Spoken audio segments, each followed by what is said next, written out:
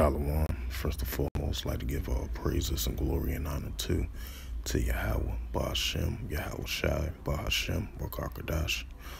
Double honors to the elders for preaching this word. Brakta, Salaki. And double honors to the elders, like I mentioned again, for preaching this word truthfully and sincerely. And shalom to the Akim, scattered through the four corners of the globe, preaching the word truthfully and sincerely as well too. And I say uh, shalom to you Akim out there.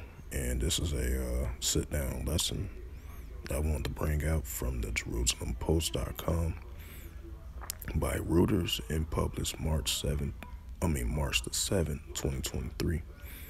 And it reads, North Korea says South Korea fire artillery rounds near border and this is the latest tensions that have been definitely stirring up between these two nations.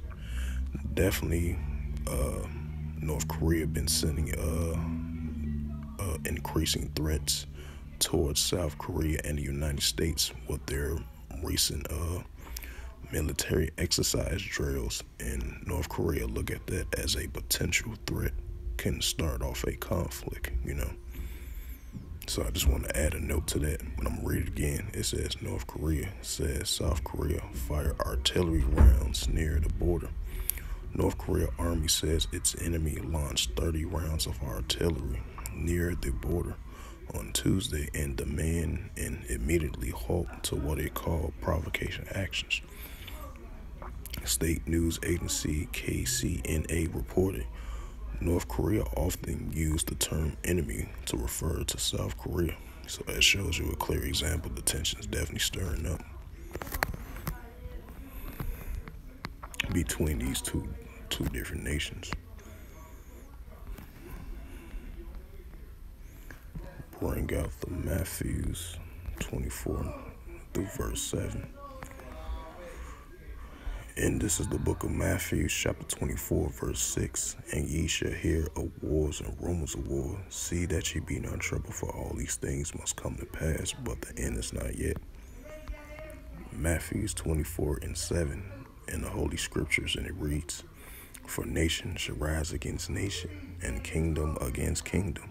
Right, so that's what we're seeing the increasing tensions between North Korea and South Korea. So, you know, that's a nation should rise against nation, and that's what we're seeing, you know. Even though they're cross border,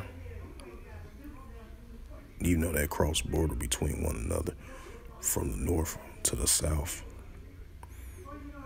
But you know, they're still they're still in nation versus nation, you know, and that's what we're seeing.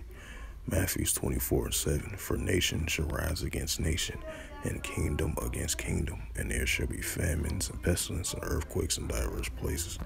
Right, so the nations shall rise against nations. It's definitely increasing between these two, you know.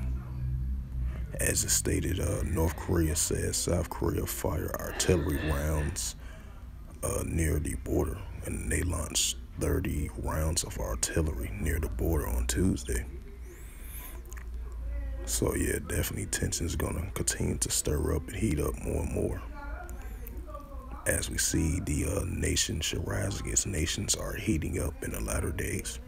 So with that, hopefully this uh, sit down lesson was edifying of the reading of the news article and the scriptures that I brought out in reference to this news article.